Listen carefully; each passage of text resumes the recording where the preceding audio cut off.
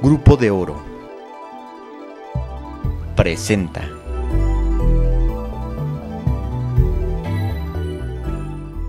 De manera contradictoria al insistente llamado del movimiento Yo Soy 132 de apertura y democratización de los medios masivos de comunicación, los seguidores de este grupo acordaron que no se permitirá el acceso a reporteros a la asamblea interuniversitaria que se realiza en la capital michoacana, en la sede sindical de la Coordinadora Nacional de Trabajadores de la Educación. De acuerdo a Benjamín, vocero estatal de este movimiento, bajo el mismo acuerdo se negó a dar información sobre los temas que serán abordados durante esta reunión. Mm, la temática no, no, vamos, no la puedo decir, ¿no? Por dos cosas. Una, porque es acuerdo de, asamblea, eso solamente se determina en la asamblea.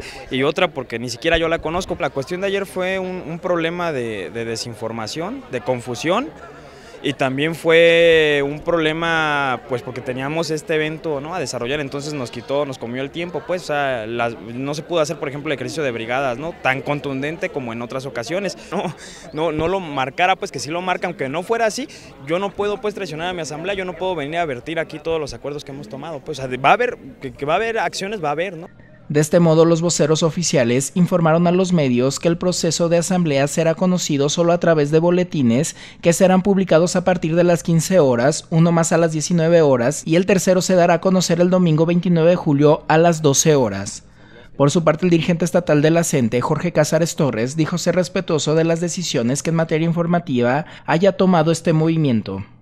Bueno, nosotros somos respetuosos de los códigos en todo caso, de lo que marquen los los compañeros.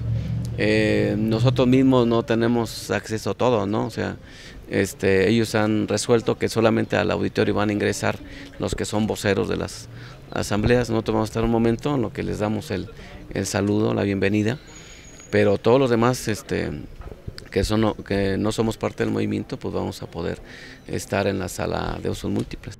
Con imágenes de Leopoldo Hernández e información de Sara Galiote, Agencia Cuadratín.